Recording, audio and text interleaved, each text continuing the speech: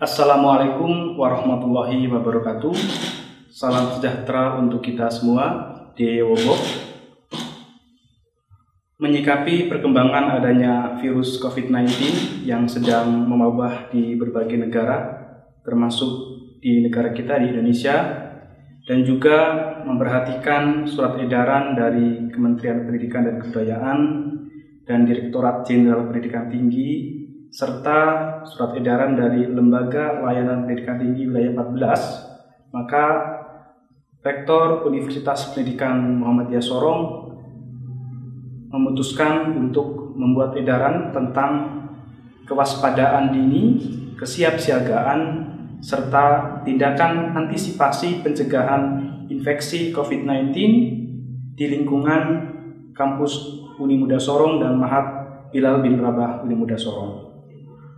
Maka diputuskan bahwa terhitung mulai tanggal 18 Maret sampai dengan 1 April 2020, kegiatan akademik dan pelayanan mahasiswa diatur melalui langkah-langkah sebagai berikut.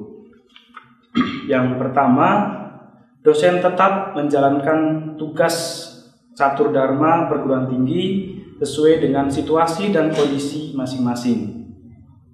Kedua, Perkuliahan klasikal praktikum dilakukan secara online atau daring dengan memaksimalkan e-learning atau menggunakan metode perkuliahan lainnya yang tidak menggunakan tatap muka secara langsung.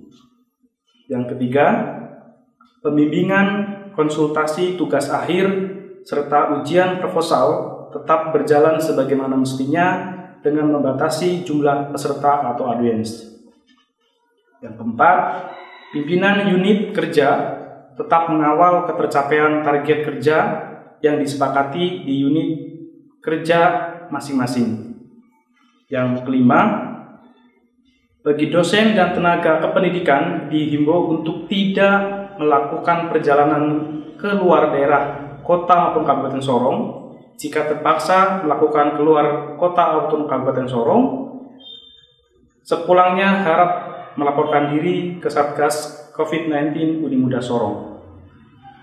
Demikian surat edaran ini kami sampaikan atas perhatiannya diucapkan. Terima kasih. Wassalamualaikum warahmatullahi wabarakatuh. Rektor Uni Muda Sorong, Dr. Rustam Haji MSc. Terima kasih.